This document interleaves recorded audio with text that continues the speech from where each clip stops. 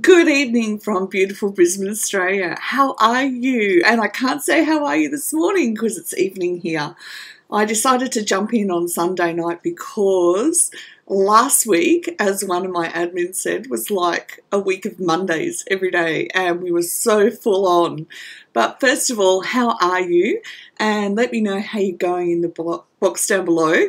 And also, if you have any questions or comments, always feel welcome to leave them because I'm more than happy to answer them to the best of my ability. And remember to like, share, subscribe to receive notifications because there are millions of people out in this world who are yet to work out or discover or be diagnosed that they've got complex PTSD. And the more information that we can get out there, the easier it is for other people. And we're not even down to the stage of our families being able to talk with us competently about our mental health. So we need to be part of the new generation who build a community that not only helps us, but we help other people. Okay. Now, hello, beautiful Alison. Alison's in Ireland where they're going through a second shutdown. So I feel very blessed that in Brisbane we walk around like COVID didn't happen, except that we're aware that we need to, you know, use wash our hands, etc., etc. Take good care of each other, and you know, if you're sick, stay home. It's pretty simple. So we don't have masks. Our children don't wear masks to school. We don't have to live in masks or anything like that. Uh, we did really hard yards back in March to May, I think it was. And ever since then, our government's been on the ball with as soon as someone's diagnosed, they get on it and they do contract tracing. Contact? Contact. Contract sounds like they're a hitman. they're not. They uh, do contact. That's really hard. Contact tracing, so they trace it all the way back to make sure they get everybody who may or may not have been infected and get people get treated. And so we live a relatively free life here. Okay, Good morning, beautiful Rachel. Well, yeah, actually, it was probably is your morning. Okay, so today I want to do two things. All right. Now, this is really, really important stuff because one, I've never read it, and you know, when you work with me, it's all practical. And two, as I've worked through all this overwhelm, it's just blown my mind how subtle it is. Okay, so now I'm going to read you a list out of the symptoms of overwhelm and I want you to keep a track of how many you can identify uh, that are happening for you as I read them out. And then the second thing I'm going to do is explain how subtle they are in that the ones that you've recognized, you might have ones that you may recognize after I've read the list out. This is how subtle it is. And then I'm going to give you information around what I've been doing to help with the subtleness of the symptoms of overwhelm. Okay, so here we go. The symptoms. You ready? you got your fingers ready to count? Becoming easily agitated, frustrated, and moody. Feeling like you are losing control or need to take control having difficulty relaxing, relaxing, relaxing and quieting your mind so you can't turn off the mind chatter. And don't we all know what that's like when we go to bed? Feeling bad about yourself, so it could be low self esteem, lonely, worthless, and depressed. And boy, hasn't that come out during 2020. Avoiding connection with other adults, low energy, headaches, upset stomach, including diarrhea, constipation, and nausea, aches, pains, and tense muscles, chest pain, and rapid heartbeat, insomnia, frequent colds and infections, nervousness and shaking, cold or sweaty hands and feet, dry mouth and difficulty swallowing, clenched jaw and grinding teeth, breath holding, constant worrying, racing thoughts, forgetfulness and disorganization, inability to focus, poor judgment, being pessimistic or seeing only the negative side, changes in appetite, either not eating or eating too much, procrastinating and avoiding responsibilities, increased use of alcohol, drugs, or cigarettes. So anything that's, you know, unhealthy, really. okay, so what was your score? Did you manage to keep score? There's about 17 on the list. And I can tell you, when I first, I did this list up last week and it was for a blog post actually to do with parenting. So if you go in and look at the latest blog post, it's actually got all of this information in there for you so you can actually go through and do a tick off checklist as well if you need. Rachel said she lost count. Yeah, me too. but here's the thing it's really, really subtle. So it's like I found out last week. So I'm at this in this advanced stage of recovery where I'm now going out, I'm connecting with people that I haven't previously known uh, in real life and online as well.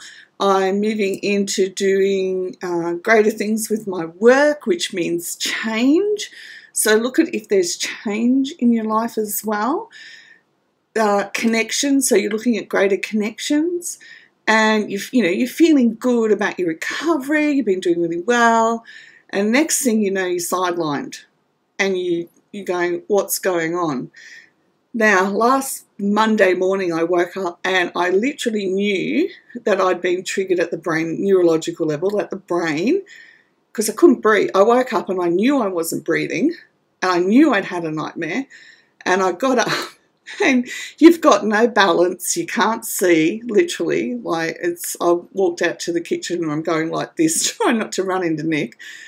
And I was just like, wow, this blows my mind that when you get into the advanced stages of recovery, the brain starts going, okay, she's feeling good now. She'll understand. I can let go of all of this particular, you know, shard that's in the amygdala and she can process it.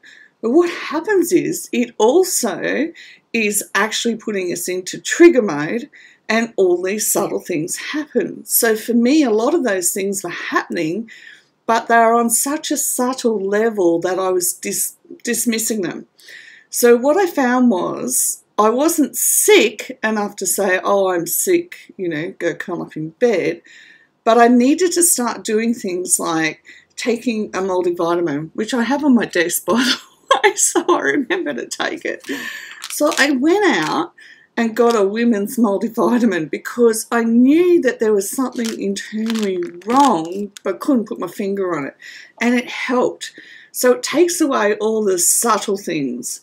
Sometimes I have to take like a cold and flu tablet when I go to bed so that I'm not waking up feeling like it's foggy or that, you know, not just the mouth dryness, but it gave me all the sinus symptoms again and things like that.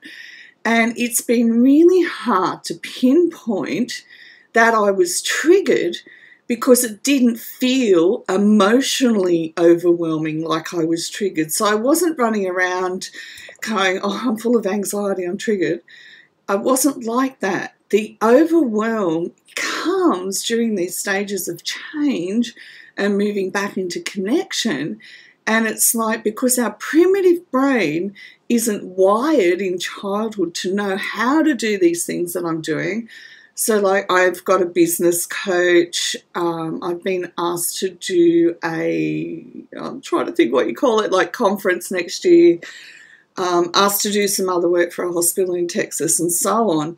Now, what happens is when all of these things gather together in your mind, it becomes like this overwhelm and it starts to impact our physical body.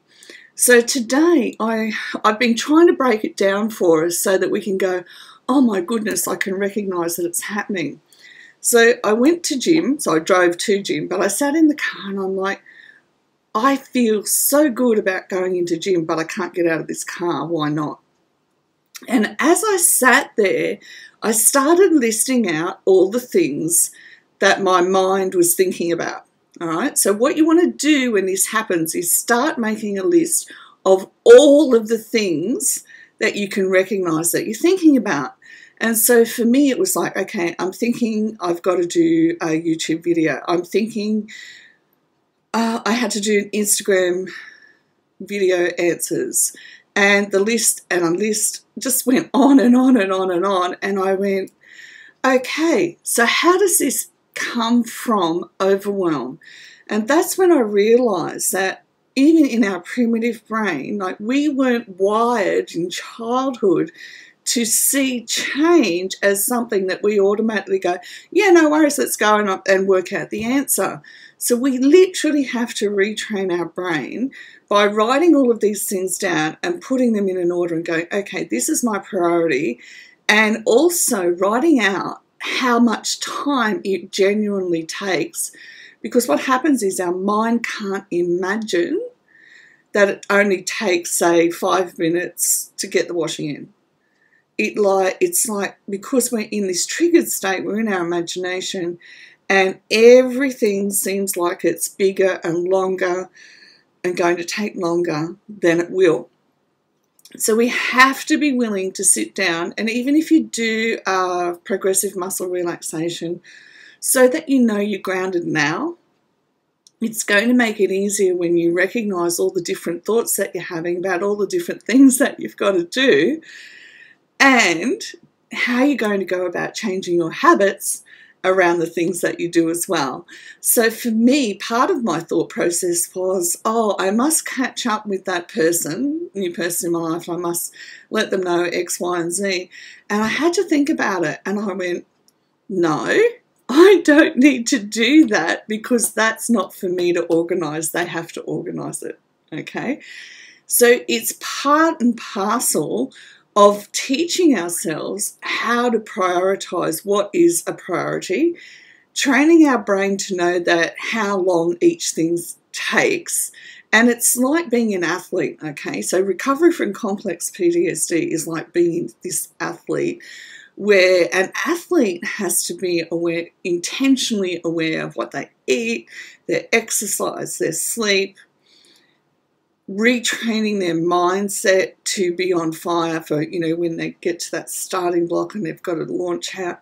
So, for us with complex PTSD, when it comes to the overwhelm, we are literally in a stage of going, okay, I've got to retrain my mind into how to think about these things that I'm thinking about.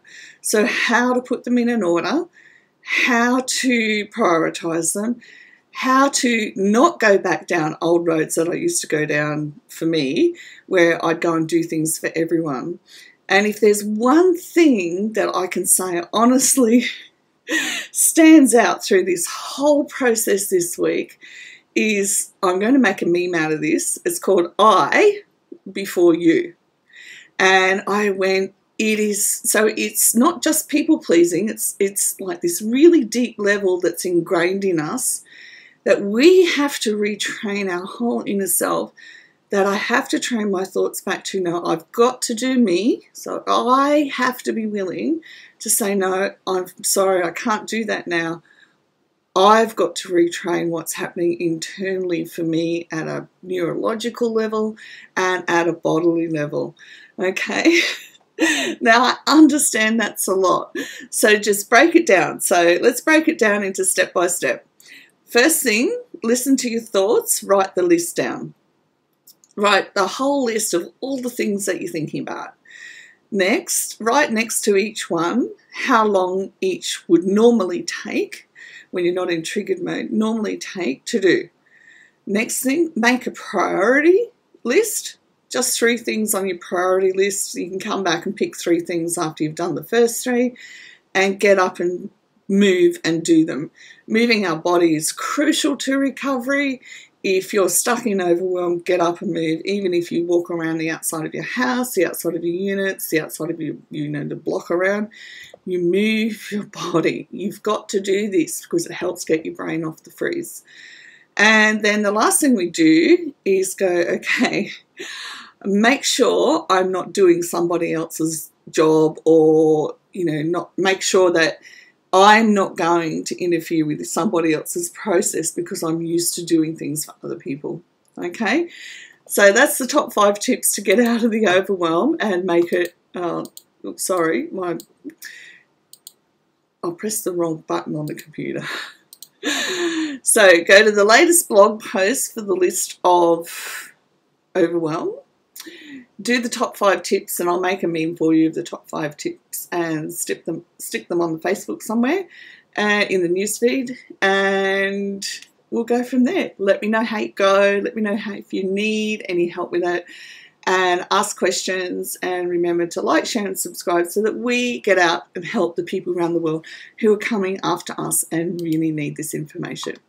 Thanks for listening. Thanks, girls. And uh, I will talk to you soon. Bye for now.